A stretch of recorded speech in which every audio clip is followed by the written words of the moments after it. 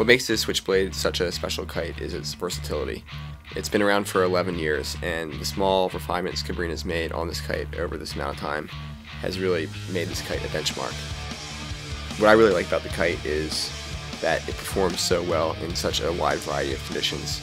So whether I'm riding a twin tip and unhooking, um, I'm jumping, doing big hooked in tricks, or in the waves wave riding, the kite really has performance characteristics that I need across the board in a wide variety of conditions. What makes the Switchblade such a such a great kite for anyone is the kite's stability and the kite's predictability. You know, in light winds and gusty winds, the kite's extremely stable. Um, it sits far forward, so it has great upwind drive and it's got huge wind range. Um, it also has lots of depower, and this combination also allows the kite um, to jump absolutely huge. You can send the kite fast, um, and then when you pull in, you get loads of power um, that send you to the moon.